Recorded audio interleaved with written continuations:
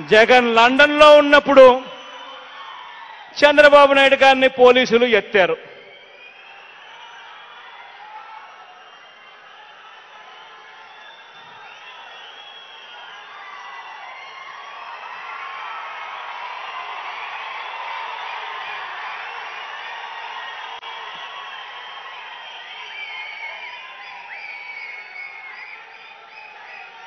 చంద్రబాబు నాయుడుని ఎవరు కక్ష సాధింపుతో అరెస్ట్ చేయలేదు.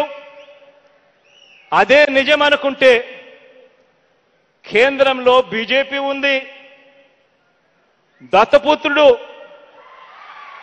బీజేపీతోనే ఉన్నాను అని ఇప్పటికీ అంటున్నాడు. బీజేపీ రాష్ట్ర అధ్యక్షురాలితో పాటు సగం బీజేపీ పార్టీ టీడీపీ మనుషులే ఉన్నారు. అయినా అయినా కేంద్రంలోని ఇన్కమ్ ట్యాక్స్ కేంద్రంలోని ఈడీ చంద్రబాబు మీద విచారణలు జరిపి ఆయన అవినీతిని నిరూపించింది. దోషులను అరెస్ట్ కూడా చేసింది మరి. ఈడీ అయితే బాబుకు ఇన్కమ్ ట్యాక్స్ వాళ్ళు ఐటీ నోటీసులు కూడా ఇచ్చారు. బాబు మీద మోడీ గారు అవినీతి ఆరోపణలు చేసిన నాటికి మనం ప్రతిపక్షంలో ఉన్నాం.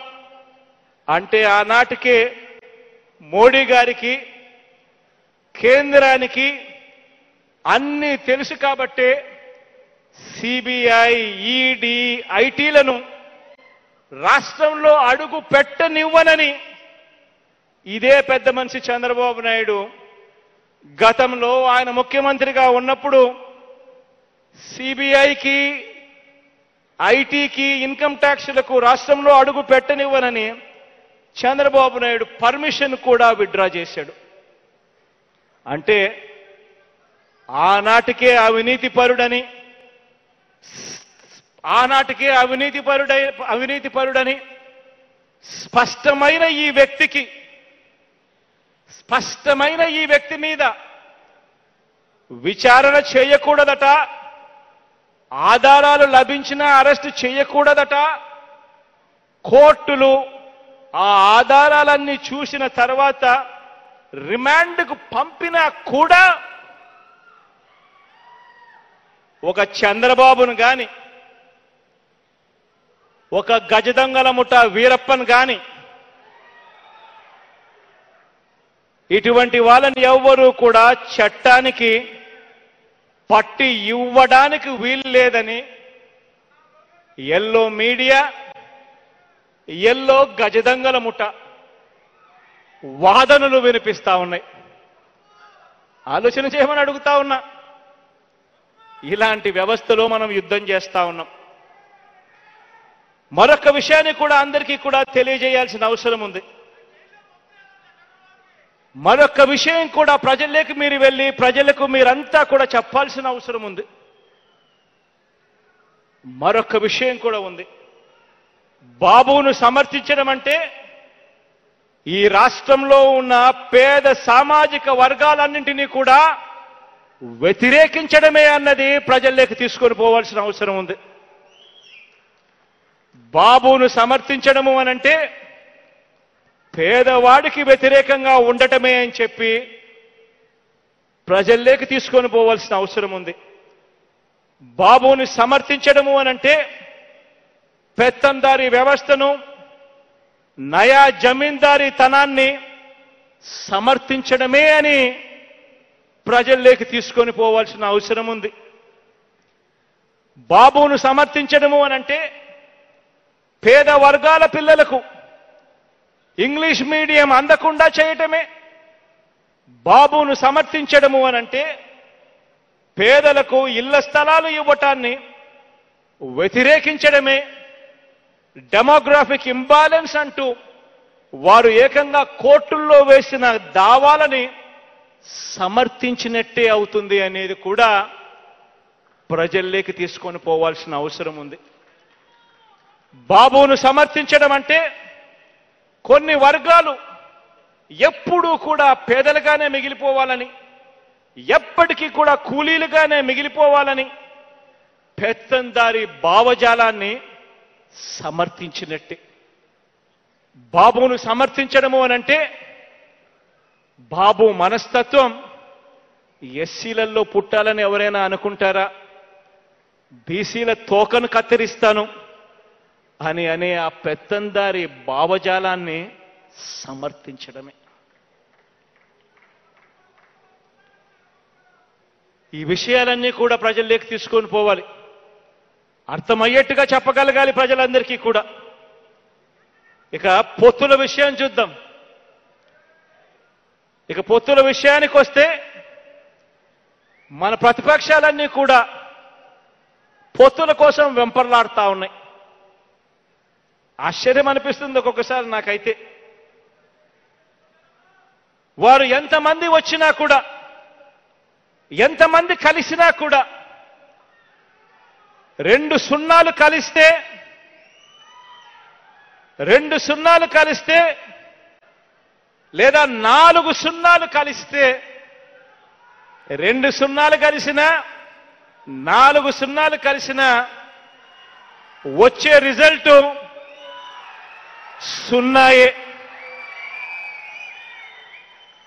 ప్రజలకు వాళ్ళు చేసిన మంచి ఒక పెద్ద సున్నా కాబట్టి ఎన్ని సున్నాలు కలిసినా కూడా వచ్చేది ఒక పెద్ద సున్నా మాత్రమే. వారు మంచి చేసే ఉంటే వారి మీద వారికే నమ్మకం ఉంటే ఆశ్చర్యం అనిపిస్తుంది నాకైతే. ఒకరైతే పదహైదు సంవత్సరాలైంది పార్టీ పెట్టి. పదహైదు సంవత్సరాలైంది పార్టీ పెట్టి. ఇవాళకి కూడా ప్రతి నియోజకవర్గంలో క్యాండిడేట్ లేడు. ప్రతి గ్రామంలోనూ జెండా మోసేదానికి మనిషి లేడు. ఆయన జీవితం అంతా కూడా చంద్రబాబు నాయుడు గారిని భుజానెత్తుకొని మోయడానికే పదహైదు సంవత్సరాలు పట్టింది ఆ పెద్ద మనిషికి. ఆశ్చర్యం అనిపిస్తుంది. ఆయన చంద్రబాబు నాయుడు చేసిన మోసాలల్లో పార్ట్నర్. చంద్రబాబు నాయుడు గారు దోచుకున్న దాంట్లో కూడా పార్ట్నర్. కాబట్టి ఇద్దరూ కలిసి ప్రజలను ఎలా మోసం చేయాలి అన్నది మాత్రమే ఆలోచిస్తారు కానీ నిజంగా ప్రజలకు మంచి చేయాలి.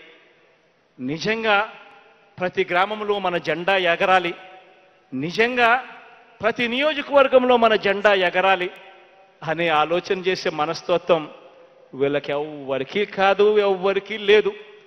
కావాల్సిందంతా బిస్కెట్లు వేసినట్టు చాక్లెట్లు వేసినట్టు సంపాదించే గజ దొంగల ముఠాలో భాగం పంచడం ఇంత ఈనాడుకు ఇంత ఆంధ్రజ్యోతికి ఇంత టీవీ ఫైవ్కి ఇంత దత్తపుత్రుడికి.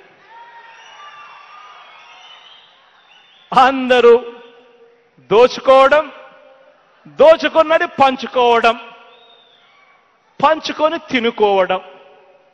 ఇది తప్ప రాజకీయం అంటే విశ్వసనీయత అని రాజకీయం అంటే విలువలని రాజకీయం అంటే చనిపోయిన తర్వాత కూడా ప్రతి ఇంట్లో ఫోటో ఉండాలని ఆరాట పడడం రాజకీయం అంటే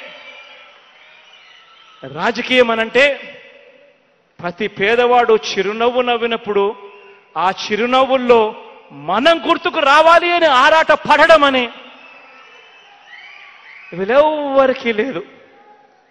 వీళ్ళకి తెలిసిన రాజకీయం వల్ల సీట్లేకి రావడం అంటే దాని అర్థం దోచుకోవడం దోచుకునింది పంచుకోవడం పంచుకునింది తినుకోవడం. ఇవి కాదు రాజకీయాలు. రాజకీయాలంటే మనిషి చనిపోయిన తర్వాత కూడా ప్రతి మనిషి గుండెల్లో బ్రతికి ఉండడం. రాజకీయం అంటే ప్రతి ఇంట్లో కూడా ప్రతి ఇంట్లో కూడా ఫోటో ఉండడం రాజకీయం అన్నది మనకు తెలిసిన రాజకీయం.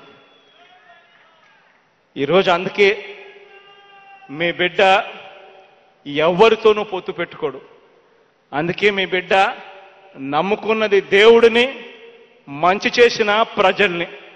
అందుకే బహుశా రాజకీయ చరిత్రలో దేశ చరిత్రలో కానీ రాష్ట్ర చరిత్రలో కానీ ఏ ఒక్క రాజకీయ నాయకుడు ఎవ్వరు కూడా అనని మాటలు మీ బిడ్డ అనగలుగుతా ఉన్నాడు.